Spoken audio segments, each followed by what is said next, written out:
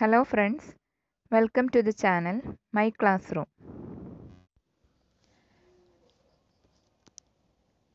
ഇന്നത്തെ ക്ലാസ്സിൽ ചർച്ച ചെയ്യുന്നത് പ്രാചീന നാഗരികതകളെക്കുറിച്ചാണ്. അതായത് മെസ്സപ്പട്ടോമിയൻ സംസ്കാരം ഈജിപ്ഷ്യൻ ചൈനീസ് അങ്ങനെ വിവിധ തരത്തിലുള്ള സംസ്കാരങ്ങളെക്കുറിച്ചുള്ള ക്ലാസ്സാണ് ഇന്ന് എടുക്കുന്നത്. വെങ്കലയുഗം മുതലാണ് നാഗരികതകൾ ആരംഭിച്ചത്. നഗരനിർമ്മാണവും സ്ഥിര താമസ രീതികളുമാണ് നാഗരികതകളുടെ വളർച്ചയ്ക്ക് വഴിയൊരുക്കിയത്.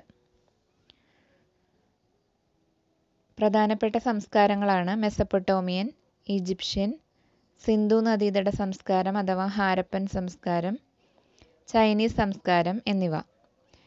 ഇവയാണ് പ്രധാനപ്പെട്ട വെങ്കലയുഗ സംസ്കാരങ്ങൾ.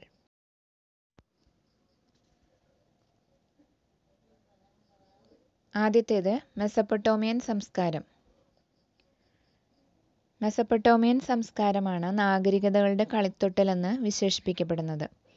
നാഗരികതകളുടെ കളിത്തൊട്ടിൽ എന്ന് വിശേഷിപ്പിക്കപ്പെടുന്ന സംസ്കാരമാണ് മെസപ്പൊട്ടോമിയൻ സംസ്കാരം. ബി സി മൂവായിരത്തോടെയാണ് മെസപ്പൊട്ടോമിയൻ സംസ്കാരം വളർച്ച പ്രാപിച്ചത്. ബി സി മൂവായിരം. അതധികം ഇമ്പോർട്ടന്റ് അല്ല. ഇനി ടൈഗ്രീസ് യൂഫ്രട്ടീസ് നദീതടത്തിലാണ് ഈ സംസ്കാരം ഉടലെടുത്തത്. മെസപ്പട്ടോമിയൻ സംസ്കാരം ടൈഗ്രീസ് യൂഫ്രട്ടീസ് നദീതടത്തിലാണ് വളർച്ച പ്രാപിച്ചത്. മൂന്ന് ഘട്ടങ്ങളായാണ് ഈ സംസ്കാരം വളർച്ച പ്രാപിച്ചത്. ഒന്നാം ഘട്ടത്തിൽ ബാബിലോണിയൻ എന്നും രണ്ടാം ഘട്ടത്തിൽ സുമേറിയൻ സംസ്കാരമെന്നും മൂന്നാം ഘട്ടത്തിൽ മെസപ്പട്ടോമിയൻ എന്നും അറിയപ്പെട്ടു. മൂന്ന് ഘട്ടങ്ങളാണ്. ബാബിലോണിയൻ സംസ്കാരം സുമേറിയൻ സംസ്കാരം മെസപ്പൊട്ടോമിയൻ സംസ്കാരം. ഇതെല്ലാം ഒരേ സംസ്കാരത്തിന്റെ വിവിധ ഘട്ടങ്ങൾ തന്നെയാണ്. ഇനി മെസപ്പൊട്ടോമിയ എന്ന വാക്കിന്റെ അർത്ഥം തന്നെ നദികൾക്കിടയിലെ പ്രദേശം എന്നതാണ്. അതായത് യൂഫ്രട്ടീസ് നദീ ടൈഗ്രിസ് നദീതടങ്ങൾക്കിടയിൽ കാണുന്നതാണ് മെസപ്പൊട്ടോമിയൻ സംസ്കാരം. നദികൾക്കിടയിലെ പ്രദേശം എന്നാണ് മെസപ്പൊട്ടോമിയൻ എന്ന വാക്കിന്റെ അർത്ഥം.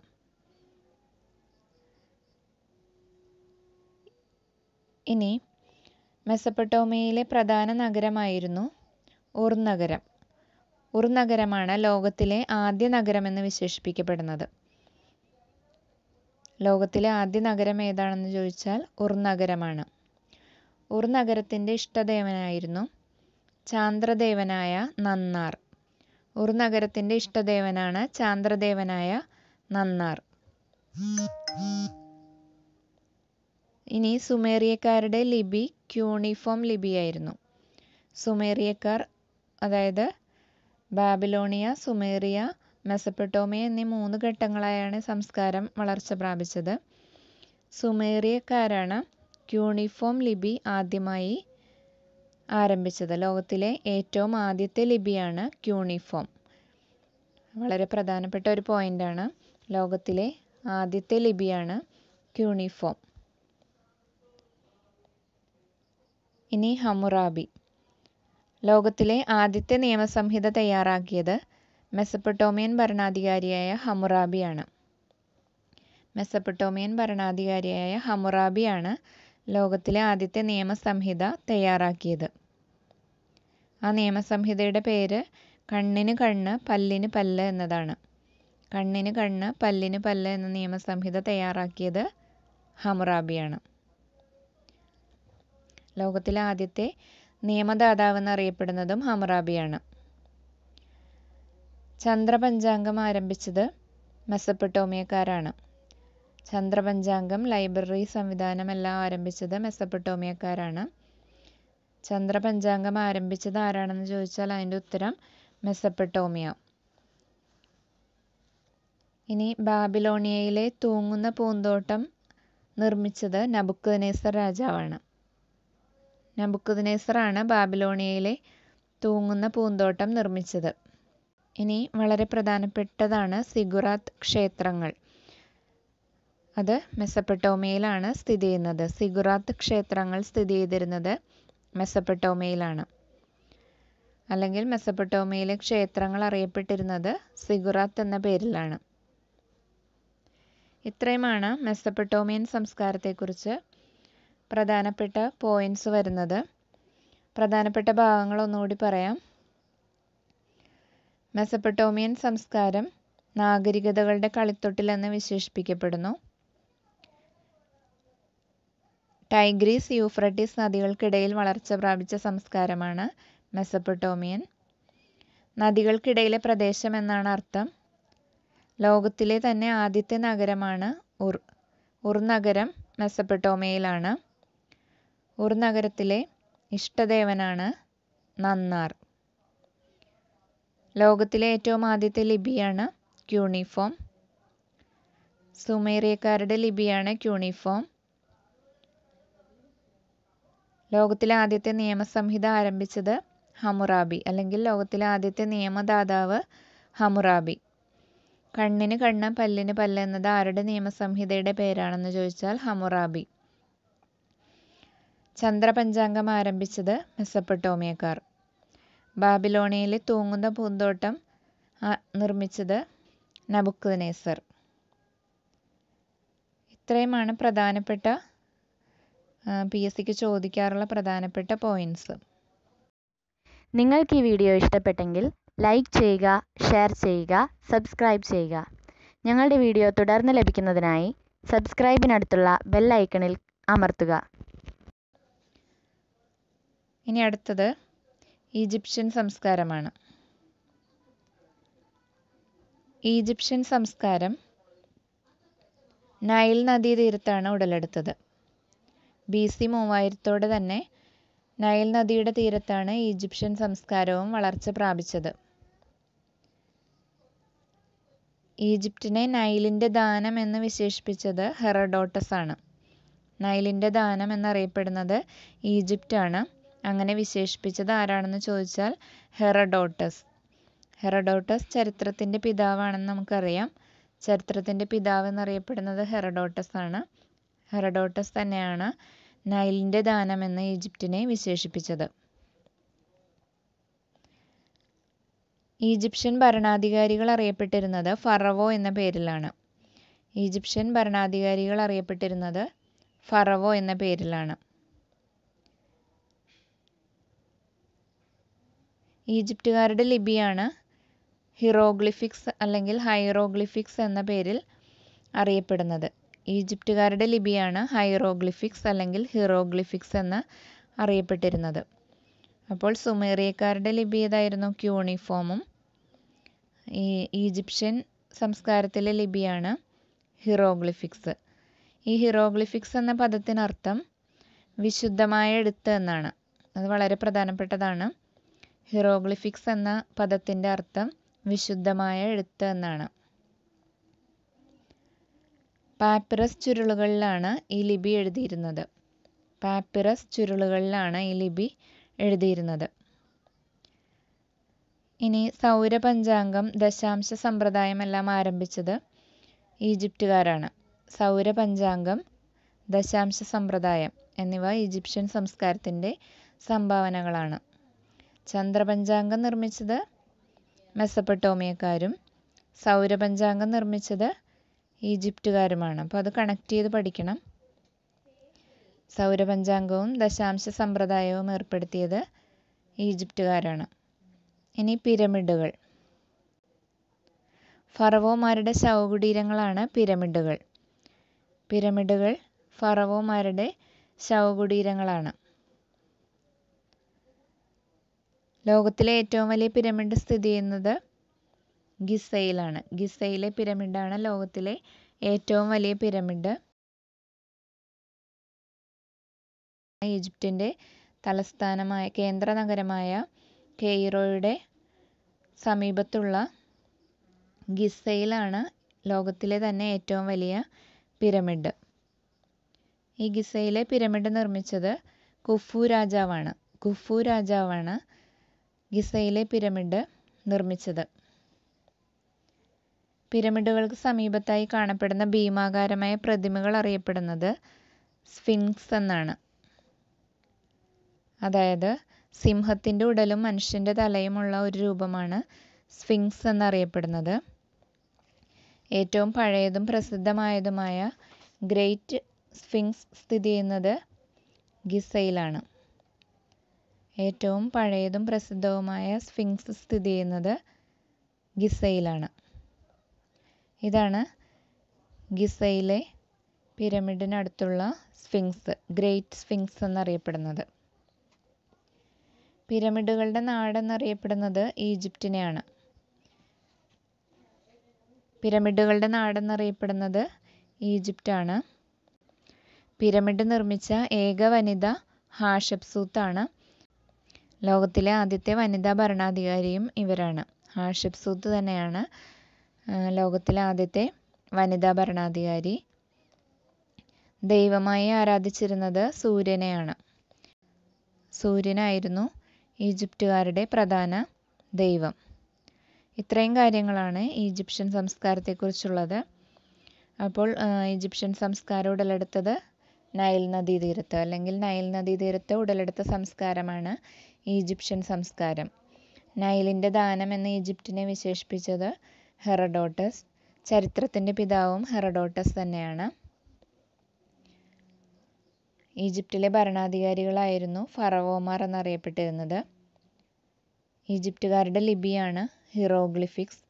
ഹിറോഗ്ലിഫിക്സ് എന്ന പദത്തിന്റെ അർത്ഥം വിശുദ്ധമായ എഴുത്തെന്നാണ് പാപ്പിറസ് ചുരുളുകളിലാണ് ഇതെഴുതിയിരുന്നത്. സൗരപഞ്ചാംഗം ആവിഷ്കരിച്ചത് ഈജിപ്തുകാരാണ്. പിരമിഡുകൾ കാണപ്പെടുന്നത് അല്ലെങ്കിൽ പിരമിഡുകളുടെ നഗരം എന്നറിയപ്പെടുന്നത് ഈജിപ്റ്റാണ് ലോകത്തെ തന്നെ ഏറ്റവും വലിയ പിരമിഡ് ഗിസയിലെ പിരമിഡാണ്. ഇതെല്ലാം ഇമ്പോർട്ടന്റ് ആണ്. ഗിസയിലെ പിരമിഡ് നിർമ്മിച്ചത് ആരാണ്? കുഫു രാജാവ്. ഖുഫു രാജാവാണ് ഗിസയിലെ പിരമിഡ് നിർമ്മിച്ചത്. സിംഹത്തിന്റെ ഉടലും മനുഷ്യന്റെ തലയുമുള്ള രൂപങ്ങളാണ് സ്ഫിങ്സ് എന്നറിയപ്പെടുന്നത്. പിരമിഡ് നിർമ്മിച്ച ആദ്യത്തെ വനിതാ ഭരണാധികാരിയാണ് ഹാഷപ്സൂത്ത് ലോകത്തിലെ തന്നെ ആദ്യത്തെ വനിതാ ഭരണാധികാരിയും ഹാഷപ്സൂത്താണ് ചൈനീസ് സംസ്കാരം. ഏറ്റവും പുതിയ വെങ്കലയുഗ സംസ്കാരമാണ് ചൈനീസ് സംസ്കാരം. നാല് സംസ്കാരങ്ങളാണ് നമ്മൾ വെങ്കലയുഗത്തിൽ പഠിച്ചത്. മെസപ്പൊട്ടോമിയൻ ഈജിപ്ഷ്യൻ ചൈനീസ് സിന്ധു നദീതട സംസ്കാരം. അതിലേറ്റവും പുതിയ വെങ്കലയുഗ സംസ്കാരമാണ് ചൈനീസ് സംസ്കാരം. ഇത് ബി സി ആയിരത്തി എഴുന്നൂറിനടുത്താണ് ഹൊയാങ്ഹോ നദിയുടെ തീരത്താണ് സംസ്കാരം വളർച്ച പ്രാപിച്ചത്. അപ്പോൾ ഈജിപ്ഷ്യൻ സംസ്കാരവും മെസ്സപ്പട്ടോമിയൻ സംസ്കാരവും ബി സി മൂവായിരത്തിലാണ് ആരംഭിച്ചത്. ചൈനീസ് സംസ്കാരം ബി സി ആയിരത്തി എഴുന്നൂറിലാണ് വർഷം അധികം ഇമ്പോർട്ടന്റ് അല്ല. ഏത് നദീതീരത്താണ് ഉടലെടുത്തതെന്നാണ് നിങ്ങൾ ഓർത്തിരിക്കേണ്ടത്. ഹൊയാങ്ഹോ നദീതീരത്ത് വളർച്ച പ്രാപിച്ചതാണ് ചൈനീസ് സംസ്കാരം. ചൈനയിലെ പ്രധാനപ്പെട്ട നദിയാണ് ഹൊയാങ്ഹോ നദി. ചൈനയുടെ ദുഃഖം മഞ്ഞ നദി എന്നീ പേരുകളിൽ അറിയപ്പെടുന്നത് ഹൊയാങ്ഹോ നദിയാണ്. കടലാസ് അച്ചടി അച്ചടി മഷി പീരങ്കി വടക്കുനോക്കി യന്ത്രം ഭൂകമ്പമാപിനി ഇതെല്ലാം കണ്ടുപിടിച്ചത് ചൈനക്കാരാണ്. ഏറ്റവും പ്രധാനപ്പെട്ടത് വടക്കുനോക്കി യന്ത്രമാണ്. വടക്കുനോക്കി യന്ത്രം കണ്ടുപിടിച്ചത് ചൈനക്കാരാണ്. അതുപോലെ തന്നെ പേപ്പർ അച്ചടി അച്ചടി മഷി ഇതെല്ലാം ചൈനക്കാരുടെ സംഭാവനയാണ്. ചൈനയിലെ വൻമതിൽ നിർമ്മിച്ച ഭരണാധികാരിയാണ് ഷിഹു വാങ്തി. ചൈനയിൽ ഭരണം നടത്തിയിരുന്ന അവസാന ഭരണവംശം ചൈനയിൽ ഭരണം നടത്തിയ അവസാന ഭരണവംശം ചോദിക്കാറുണ്ട് മാഞ്ചു രാജവംശം. മാഞ്ചു രാജവംശമാണ് ചൈനയിൽ ഏറ്റവും അവസാനമായിട്ട് ഉണ്ടായിരുന്ന ഭരണവംശം. ചൈനയിലെ രണ്ട് പ്രധാനപ്പെട്ട തത്വചിന്താധാരകളാണ് താവോയിസം കൺഫ്യൂഷനിസം എന്നിവ. താവോയിസം കൺഫ്യൂഷനിസം എന്നിവയാണ് ചൈനയിലെ പ്രധാനപ്പെട്ട ചിന്താധാരകൾ. ഇതിൽ താവോയിസത്തിന്റെ ഉപജ്ഞാതാവ് ലാവോയിസേയും കൺഫ്യൂഷനിസത്തിന്റെ ഉപജ്ഞാതാവ് കൺഫ്യൂഷ്യസുമാണ്. കൺഫ്യൂഷ്യസ് പെട്ടെന്ന് ഓർത്തിരിക്കാം. താവോയിസത്തിന്റെ ഉപജ്ഞാതാവാണ് ലാവോയിസേ. ഈ ലാവോയിസ് തന്നെയാണ് ചൈനീസ് ബുദ്ധൻ എന്നും അറിയപ്പെട്ടിരുന്നത്. പിന്നെ പട്ടുവസ്ത്രങ്ങളുടെ നിർമ്മാണം വ്യാവസായിക അടിസ്ഥാനത്തിൽ ആരംഭിച്ചതും ചൈനയിലാണ്. അപ്പോൾ ചൈനീസ് സംസ്കാരം വളർച്ച പ്രാപിച്ചത് ഹൊയാങ്ഹോ നദീതീരത്ത്. ചൈനയുടെ ദുഃഖം മഞ്ഞ നദി എന്നെല്ലാം അറിയപ്പെടുന്നത് ഹൊയാങ്ഹോയാണ്. വടക്ക് യന്ത്രം കണ്ടുപിടിച്ചു. വൻമതിൽ നിർമ്മിച്ചത് ഷിഹുവാങ് തി ചൈനയിലെ അവസാനത്തെ ഭരണവംശമാണ് മാഞ്ചു രാജവംശം. താവോയിസ്റ്റിന്റെ ഉപജ്ഞാതാവാണ്. ലാവോയിസെ കൺഫ്യൂഷനിസത്തിന്റെ ഉപജ്ഞാതാവ് കൺഫ്യൂഷ്യസ്. താവോയിസം കൺഫ്യൂഷനിസം എന്നിവ ഏത് ഏത് രാജ്യത്തിന്റെയാണെന്ന് ചോദിച്ചാൽ ചൈനയുടേതാണ്. ചൈനീസ് ബുദ്ധൻ എന്നറിയപ്പെട്ടത് ലാവോയിസയാണ്. പട്ടുവസ്ത്രങ്ങൾ വ്യാവസായിക അടിസ്ഥാനത്തിൽ നിർമ്മിക്കാൻ ആരംഭിച്ചത് ചൈനക്കാരാണ്. ഒരിക്കൽ കൂടി നോക്കാം. പി എസ് സിക്ക് ചോദിക്കുന്ന പ്രധാനപ്പെട്ട വസ്തുതകൾ മാത്രം ഒന്ന് റിവേഴ്സ് ചെയ്യാം. യൂഫ്രട്ടിസ് ടൈഗ്രിസ് നദികൾക്കിടയിൽ ഉടലെടുത്ത സംസ്കാരം മെസപ്പൊട്ടോമിയൻ മെസപ്പൊട്ടോമിയ എന്ന വാക്കിന്റെ അർത്ഥം നദികൾക്കിടയിലെ പ്രദേശം. ലോകത്തിലെ തന്നെ ആദ്യത്തെ നഗരം ഉർ നഗരം. മെസപ്പൊട്ടോമിയയിലെ പ്രധാന നഗരമാണ് ഉർ നഗരം. ലോകത്തിലെ ആദ്യത്തെ ലിപി ക്യൂണിഫോം. സുമേറിയക്കാരുടെ ലിപിയുടെ പേരാണ് ക്യൂണിഫോം. ആദ്യത്തെ നിയമസംഹിത തയ്യാറാക്കിയത് ഹമുറാബി. കണ്ണിന് കണ്ണ് പല്ലിന് പല്ലെന്നത് ആരുടെ നിയമസംഹിതയാണ് ഹമുറാബിയുടെ? ചന്ദ്രപഞ്ചാംഗം നിർമ്മിച്ചത് മെസപ്പൊട്ടോമിയക്കാർ ബാബിലോണിയയിലെ തൂങ്ങുന്ന പൂന്തോട്ടം നബുക്കദ്നേസറിന്റെ കാലത്താണ് നിർമ്മിച്ചത്. ഇനി ഈജിപ്ഷ്യൻ സംസ്കാരം. നൈൽ നദീതീരത്താണ് ഉടലെടുത്തത്. നൈലിന്റെ ദാനം എന്ന് വിശേഷിപ്പിച്ചത് ഹെറഡോട്ടസ്. ഹിറോഗ്ലിഫിക്സിന്റെ അർത്ഥം വിശുദ്ധമായ എഴുത്ത് വളരെ ഇമ്പോർട്ടന്റ് ആയതാണ്. ഏത് ചെടിയുടെ ഇലകളിലാണ് എഴുതിയിരുന്നത്? പാപ്പിറസ് ചുരുളുകളിലാണ് എഴുതിയിരുന്നത്. പിരമിഡുകളുടെ നാടാണ് ഈജിപ്റ്റ്. ലോകത്തിലെ തന്നെ ഏറ്റവും വലിയ പിരമിഡ് ഗിസയിലെ പിരമിഡ് ഗുഫു രാജാവാണ് നിർമ്മിച്ചത്. സ്ഫിങ്സ് ആണ് സിംഹത്തിന്റെ ഉടലും മനുഷ്യന്റെ തലയുമുള്ള രൂപങ്ങളാണ് സ്ഫിങ്സ്. ലോകത്തിലെ തന്നെ ആദ്യത്തെ വനിതാ ഭരണാധികാരിയും പിരമിഡുകൾ നിർമ്മിച്ച ആദ്യത്തെ വനിതാ ഭരണാധികാരിയും ഹാഷപ്സൂത്താണ് അടുത്തത് ചൈനീസ് സംസ്കാരം ഹൊയാങ്ഹോ നദിയുടെ തീരത്താണ്. ചൈനയുടെ ദുഃഖം എന്നറിയപ്പെടുന്ന നദിയാണ് ഹൊയാങ്ഹോ. മഞ്ഞ നദി എന്നും അറിയപ്പെടുന്നു. വടക്ക് നോക്കിയന്ത്രം കണ്ടുപിടിച്ചത് ചൈന. വൻമതിൽ നിർമ്മിച്ചത് ഷിഹു വാങ്തി. ചൈനയിലെ അവസാനത്തെ ഭരണവംശമാണ് മാഞ്ചു രാജവംശം. താവോയിസം കൺഫ്യൂഷൻസ് എന്നിവ ഏത് രാജ്യത്തേതാണ്? ചൈന. താവോയിസത്തിന്റെ ഉപജ്ഞാതാവ് ലാവോയിസെ. കൺഫ്യൂഷനിസ്റ്റിന്റെ ഉപജ്ഞാതാവ് കൺഫ്യൂഷ്യസ്. അതിവിടെ ഞാൻ എഴുതിയിട്ടില്ല. നിങ്ങൾ നോട്ട് തയ്യാറാക്കുമ്പോൾ അതും കൂടി എഴുതി വെക്കണം. ചൈനീസ് ബുദ്ധൻ എന്നറിയപ്പെടുന്നത് ലാവോയിസെ. ഇത്രയുമാണ് പ്രധാനപ്പെട്ട ചോദ്യങ്ങൾ. പി എസ് സി പരീക്ഷകളിൽ വിവിധ സംസ്കാരങ്ങളെക്കുറിച്ച് ചോദിച്ചിട്ടുള്ള പ്രധാനപ്പെട്ട കാര്യങ്ങൾ ഉൾപ്പെടുത്തിക്കൊണ്ടുള്ള ഒരു ക്ലാസ്സാണ് ഇന്നത്തെ വീഡിയോയിൽ ചർച്ച ചെയ്തത്. എല്ലാവർക്കും ക്ലാസ് ഇഷ്ടമായെന്ന് കരുതുന്നു.